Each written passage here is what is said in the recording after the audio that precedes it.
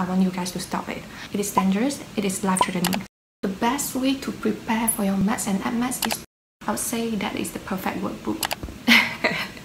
Yo, it is Tanny, welcome to my channel. So before we dive into this topic, I need to tell you that this is not a clickbait. I get C in my maths. I'm not proud of it, and neither am I ashamed of it.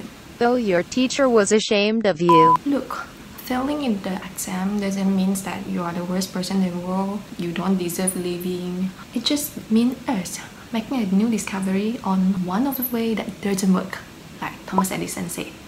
Wait, was it Thomas Edison or Albert Einstein? It's okay. I will check it out and subscribe if you want to know about it. So this video will be divided into why I failed the exam because I know there are plenty of people still doing this and I want you guys to stop it. It is dangerous, it is life-threatening. Second is the secret weapon that leads me to become one of the top scorer in my next exam. And third one, a little debate over attending tuitions or doing your own workbook. And fourth one, how to choose the best workbook for maths and maths. And last but not least, what should you do on the test day? So, let's get into it. For my exam by studying maths and uh, maths. Seriously, what the f are you doing? I was too young and too naive, thinking that I can score well in the exam just by memorizing the formula and looking at my past work. And then I just went to bed happily and confidently thinking that I'm going to beat the exam tomorrow. And it proved me wrong. Okay, class, put that with foot. Listen, Maths and maths are not to be studied. The best way to prepare for your maths and maths is to attempt the questions itself. As the curriculum progresses, it is completely normal for us to forget about the earlier topics. Before exam to refresh your memory, we have to attempt the questions instead of open the book, staring at the formula, looking at our past solutions and assuming that we know how to solve it on the test day. There's no shortcut, there's no other way around. Just do it!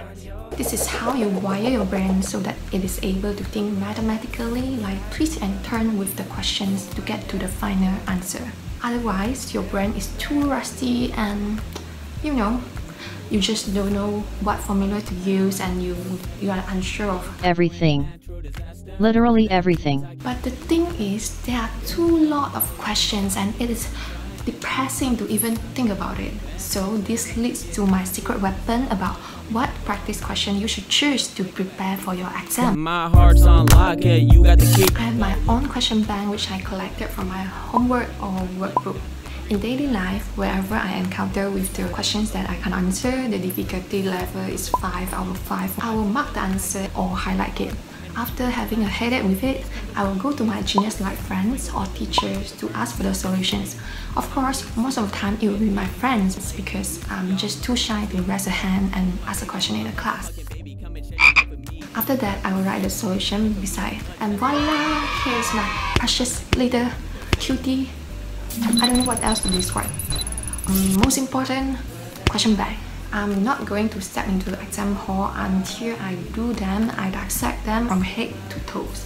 The question bank you have to create on your own because the difficulty level for each question it differs from one person to another person. The questions that you feel is hard may be just a peanut to others. But it is completely okay. We have our own pace, so don't compare to other, compare with yourself. Making small improvement day by day and you become a better man. That's more than enough. You deserve a celebration, you deserve a pat on the shoulder, and you deserve a tea life for the day. Did I just trigger something? Assuming that you are doing your homework given by your teacher, but still you do need some extra exercise.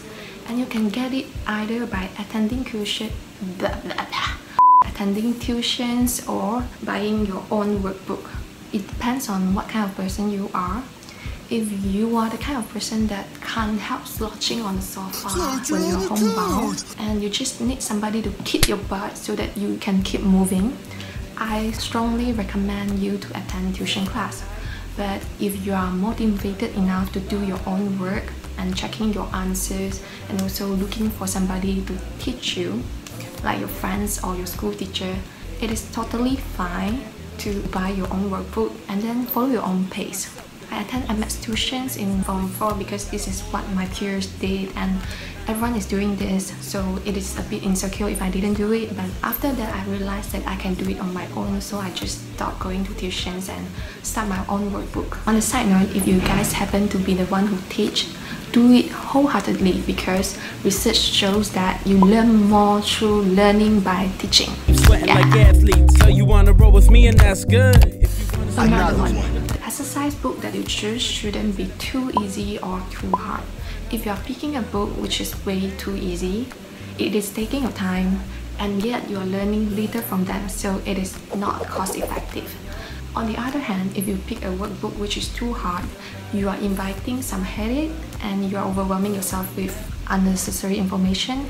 So, unless you want to become a mathematician, I have been solely responsible for this university's six-loop quantum gravity calculation.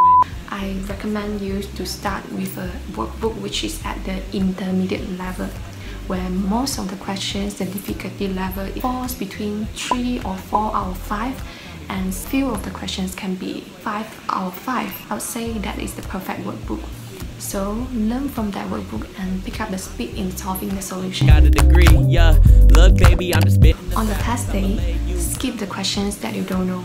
I know this is very obvious, I know this is a everyone knows fact, but I knew it and I did it! Yay!